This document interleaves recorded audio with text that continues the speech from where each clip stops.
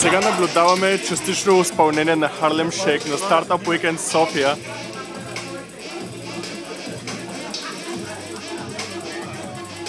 Това е едва на 29-я час от събитието.